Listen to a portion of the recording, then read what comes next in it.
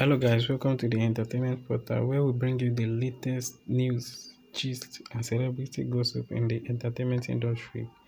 And today, please don't forget to subscribe and like this video. A very Big Wiz, Wizkid, as seen in the viral video trying to deliver an heavy punch to a fan who tried to snatch his multi-million dollar necklace from his neck. In recent days, fans have become very physical with Wizkid with their several attempts from fans trying to snatch his accessories, his jewelries, and so much more. But you, yesterday, Wizkid wasn't having any of it. Wizkid has come down from Lagos to Lagos from Ghana, where he played a couple of shows and also partied for his last show of the year in Lagos. Following Following his mega performance, the fans tried to outwit him while moving with his security and wasn't easy for them. Wizkid was seen in the video battling with the fan and ushering a punch in the face in the process. Put on in the in the video, in the viral video, shows that shows the true example of if you talk, you collect. That's just it. Because Wizkid was preaching love a few days ago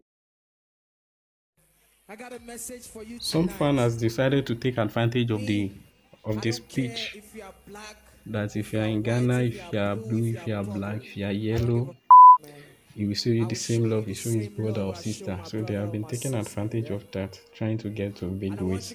So Wizkid is not welcoming this. I seen in the video.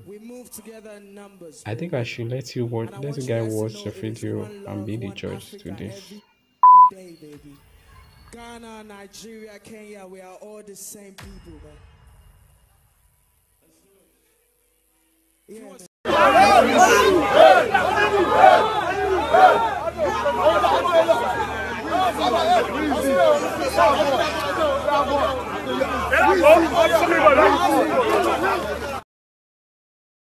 I think by now the fans should have learned their lesson that there is a limit which you can interact with your favorite celebrities if you misbehave you might see something you never expected. So to avoid an issue like if you talk you collect do your own when you see your celebrity. Please don't forget to like and subscribe to this channel for more update for more update. Thank you